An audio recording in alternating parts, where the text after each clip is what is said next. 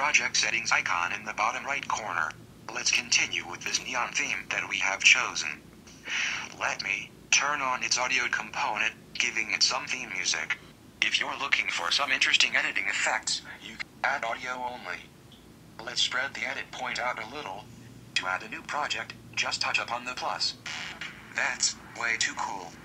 Always use an upward swipe for a freeze frame. Add as cutaway, and notice the yellow handles that appear at both ends of the shot. You will be prompted to select a theme. In and out points can be trimmed. Now I feel like dancing.